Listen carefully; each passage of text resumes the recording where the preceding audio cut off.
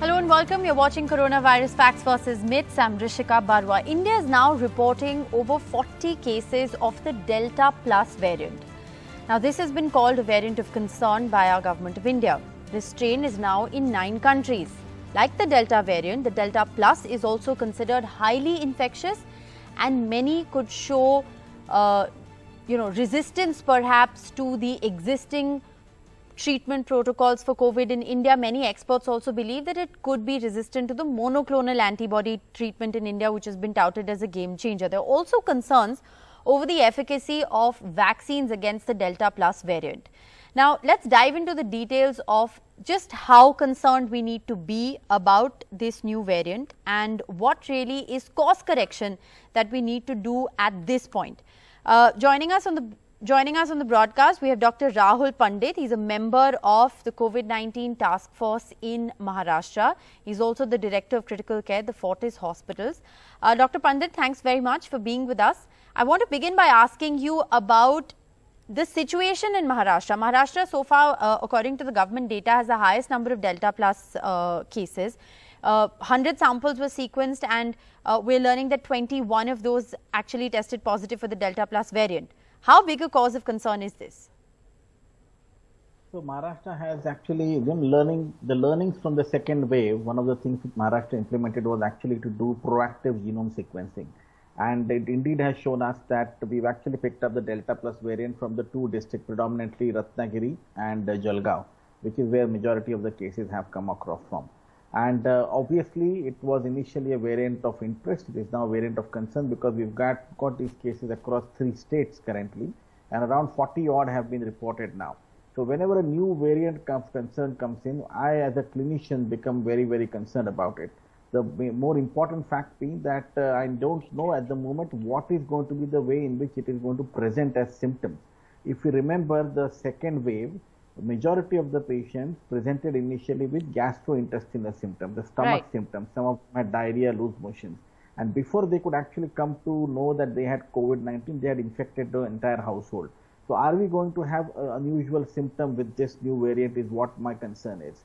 And right. then obviously as a the intensivist the concerns would be that is it more infectious than the than the just the Delta variant, which we now know still, still is the predominant variant in Maharashtra and in India. Yes. And is severity of illness going to be more? So I think this clinical mapping of the symptoms and data of these 40 patients is going to be the most important one. From the initial reports from Madhya Pradesh and Maharashtra, I think many of these patients actually did not exhibit uh, severity of illness to the extent of what we would have thought. But mm. I still don't, I still like to know every patient's detail before mm. I can comment on that.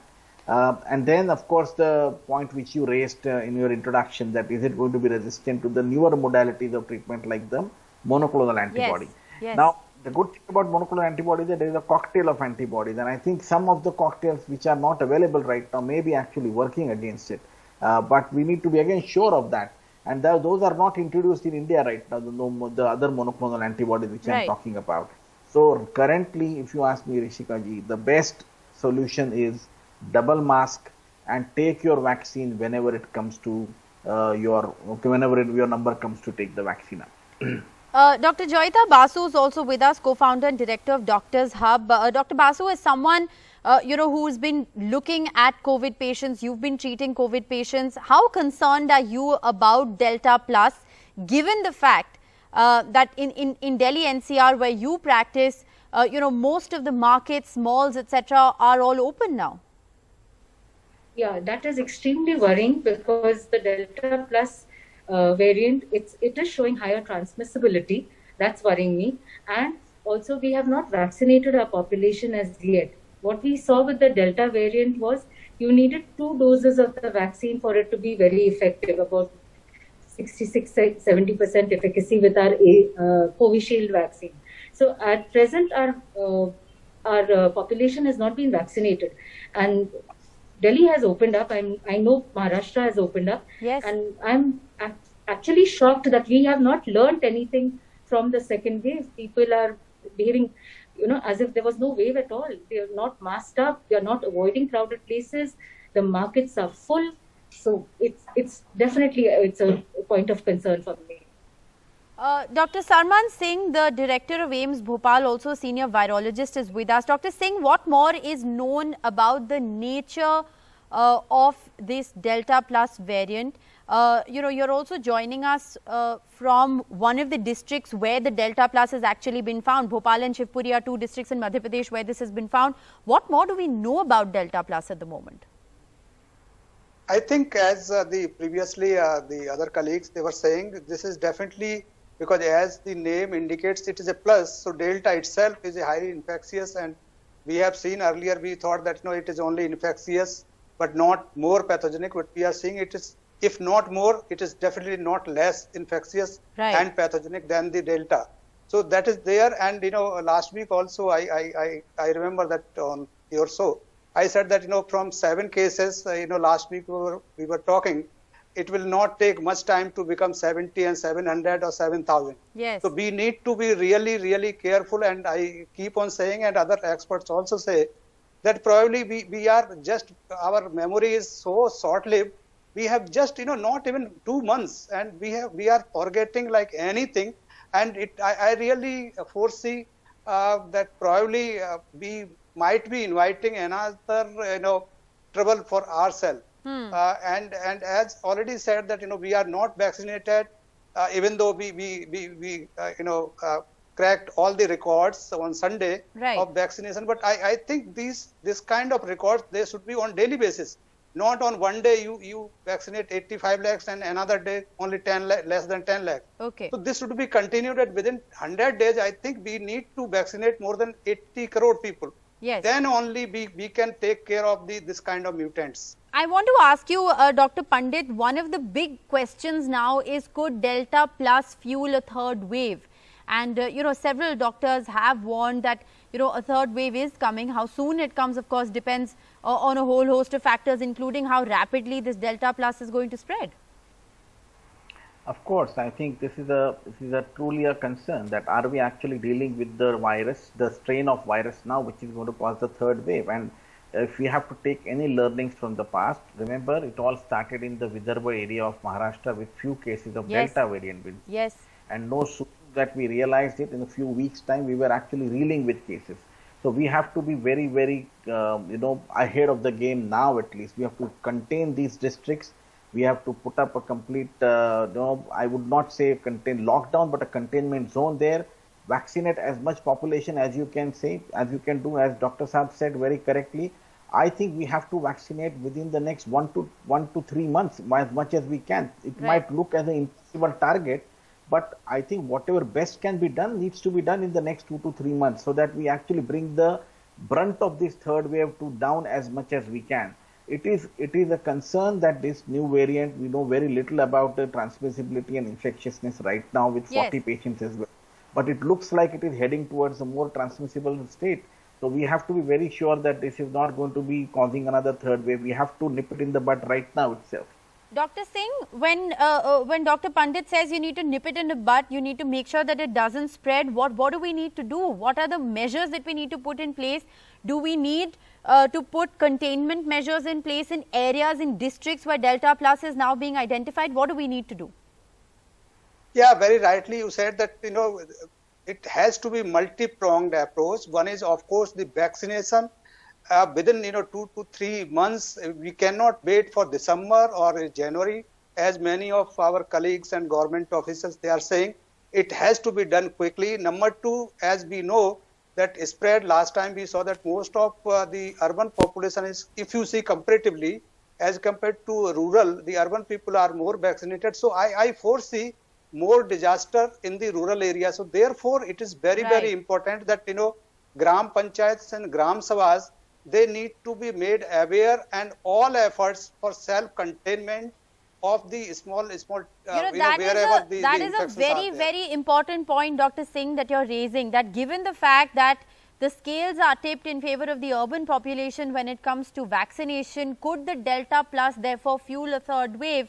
And uh, once again, you know, affect rural areas where the healthcare infrastructure is weaker. So I think that's something that really needs to be taken into consideration. I'm completely out of time on our first discussion. Thank you all very much uh, for joining us. But let's shift our focus and talk about the other interesting development that's taken place. Now, countries like Canada, Spain, the UAE, several other countries also are now offering the Pfizer or the Moderna vaccine as a booster shot to AstraZeneca. So what are these countries doing? If you get AstraZeneca as your first shot, your second shot is of an mRNA vaccine. Russia and China are looking to do this too. They are looking to mix and match other vaccines. Russia, for instance, has also been planning to test the combination of AstraZeneca and the Sputnik vaccine, which would be an interesting development for India to watch out for. Now, experts say that it could potentially lead to a better immune response. It could also logistically solve the problem of vaccine shortage supply.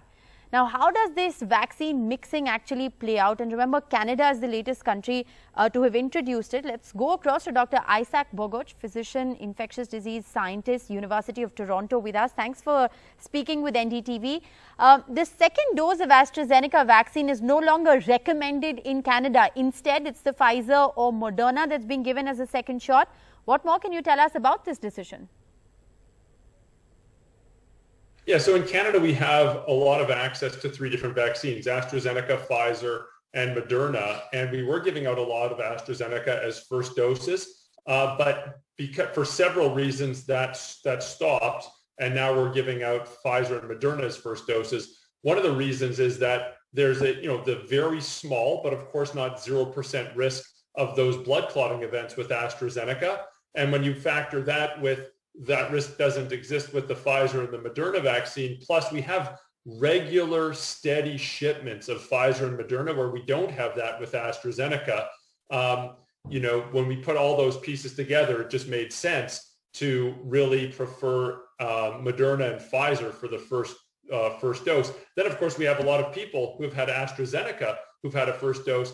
And the question was, okay, what are we going to do for second doses? Well, we know that the risk of those blood clotting events is even smaller after the second dose. It might be a range of, you know, somewhere between one in 300,000 to one in 600,000. So very, very low risk, but still not 0%. Whereas we don't have that risk with the Pfizer and the Moderna vaccine. And of course, when you factor in other, other issues, like when you start to see the uh, effectiveness of the mRNA vaccines and AstraZeneca vaccine against the Delta variant, which of course is circulating in India. Putting all those pieces together, uh, Canada has said, you know what, you, you need a second dose. Everyone gets a second dose. We'd prefer it if you got a second dose of a Pfizer or Moderna, right. but still, you can still, most places will still give you a second dose of AstraZeneca as well. But you have the choice now, which is interesting. But what about the side effects? Uh, Dr. Isaac, in Spain, experts have warned of the fact uh, that there could be enhanced side effects with vaccine mixing. Even in the UK, experts have warned of the same thing. What are you seeing? Yeah, it's interesting. When we look at the available data, that some data demonstrates that that could be an issue, other data not as much. Uh, what's interesting is the data that emerged from the United Kingdom demonstrates that, yeah, the side effects may be more uh, intense, but they weren't severe enough, for example, to put anyone in the hospital. People just had more frequent and often more intense side effects, the fever, potential headache, potential body aches and pains, fatigue. But again, it, it, was still not on the higher end of the spectrum where people ended up in hospital. So it might happen. It might happen more frequently. It might happen more intensely, but it's not, it's not on the severe end of the spectrum. Right. Uh, you know, what we're seeing in terms of uh, vaccine mixing, and if we put out that graphic of where it's happening, you'll see that it's, it's usually AstraZeneca as the first shot, followed by an mRNA as the booster shot. Can the opposite be done as well? And my second part of this question is what happens to dosing gap? AstraZeneca, for instance, has a 12-week dosing gap in the UK, 16 weeks in India. We know for the mRNA vaccine, it's a lot shorter. Uh, that's a great point. So for the first part of your question, I'm not quite sure why someone would do an mRNA vaccine like a Pfizer or Moderna followed by an AstraZeneca. It, it could theoretically be done. But I think a lot of the reasons for the mixing and matching would, you know, number one, be to mount a, a very robust immune response.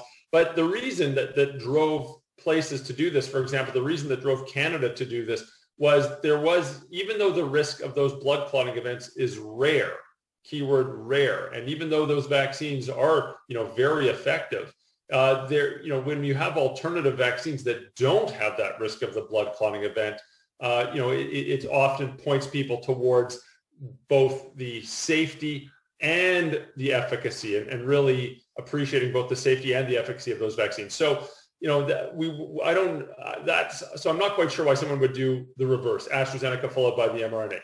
To your second part of the question, um, we have been separating the first and the second doses initially by four months, but no one really had it separated by four months. And in right. fact, we're starting to give second doses at the eight week mark for okay. people who have had a first dose of AstraZeneca. So they can get their second dose. It could be AstraZeneca, it could be the mRNA vaccine like Pfizer, Moderna, starting at eight weeks after the first dose of AstraZeneca.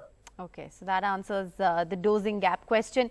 The other question that a lot of people now have is will uh, mixing of vaccines work against the Delta variant or the Delta plus variant that is being found here uh, in India and is emerging as a variant of concern?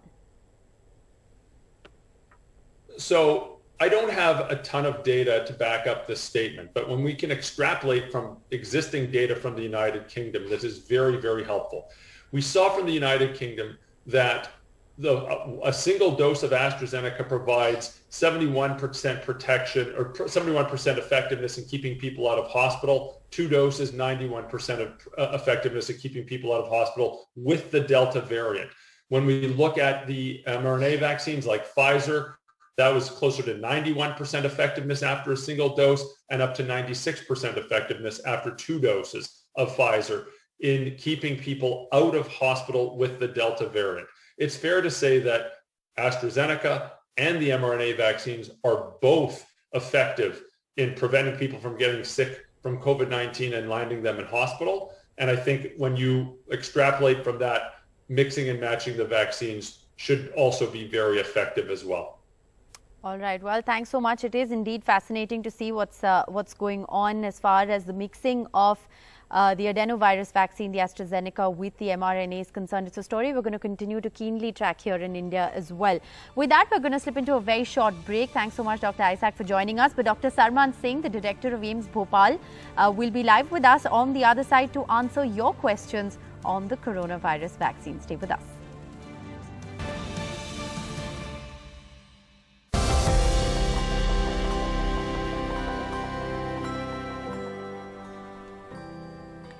Welcome back to our special campaign, Vaccinate India, in partnership with Google. We look to answer questions that you may be Googling about the COVID-19 vaccine.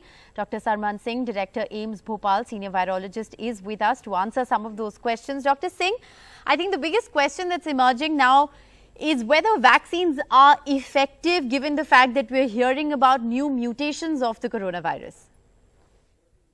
Yeah, I think uh, this is very pertinent question and everybody is having this in mind. Uh, but I would say that you know if uh, both the vaccines are taken, I think they should be effective. Even though uh, there are some data which is emerging, uh, not fully uh, analyzed because data is coming, but definitely maybe uh, efficacy may be little compromised. But so far it is no data I can say that it says that it is not effective. So definitely it is effective, maybe less efficacious, but definitely they are they must be taken. Right. So you're saying that you could potentially still get infected with the new strains and the new mutations of COVID that one is hearing of, but the vaccine will still give you a certain uh, degree of protection. Exactly. Exactly. Right. So that you know your hospitalization and maybe fatality rates uh, they will be less, but maybe a little you know uh, more people might get infected. Yeah. Right. Uh, you know, speaking of vaccine efficacy, the other important question is how much protection do you have with just one dose, given the fact that there is quite a considerable dosing gap between uh, the two shots of the Covishield vaccine. So, how effective is one dose of the vaccine? If we talk of the Covishield, it is about 71% single dose. And if we combine uh, two doses, it goes more than 90%. But a very recent data which has come from the uh, Covaxin, hmm. it is about one dose is only about 35% to 36%, and two dose is 77%. Right. That is the data yesterday. This was released DCGI because so far we were not having the hard data of the two doses, uh, but uh, yesterday the data indicates that it is 77%. Uh, so that is the you know thing. But again, the gaps and all these combinations, uh, uh, that is also important because earlier this 71% uh, of the Covishield was if we uh, put the gap at 28 days, but hmm. if it is, you know, increased, this was a uh, little, you know, as I said, up to more than 90%. Right. So that, that is the reason probably government of India, they thought that no, three months will be better as per the uh, data published in the Lancet journal from the UK study. Right. Uh, what about vaccine side effects? And this is, of course, a big cause of concern that people have. What are the varying uh, kind of side effects that people can get after getting the COVID-19 vaccine?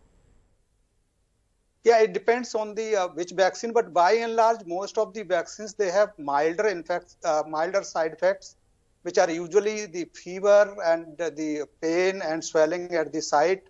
But some people, you know, Moderna and uh, Pfizer and other vaccines, they are also having itching and you know what we call vaccine arm. So you know this, this, this uh, allergic reaction and pain remains for you know little a few days. Right. And some people they are also experiencing some uh, some allergy in mm-hmm. the body. So this kind of thing. But most of these side effects are mild or moderate, but uh, okay. not that severe. Yeah. And and and how long do the side effects last, Dr. Singh?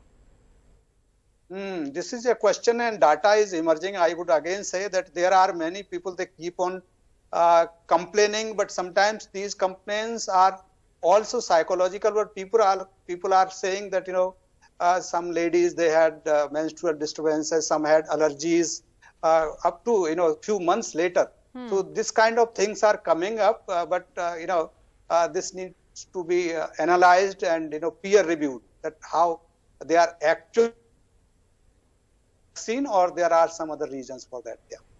All right. And, uh, you know, in terms of treatment of these side effects, what do you what do you recommend that people should do when they get these mild side effects?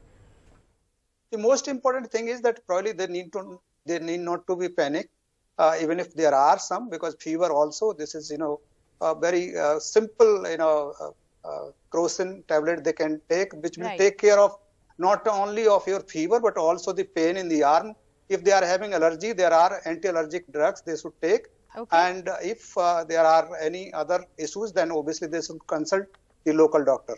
Yeah. All right. Well, thank you so much, Dr. Singh, for sparing your time and being with us on yeah. NDTV. Yeah.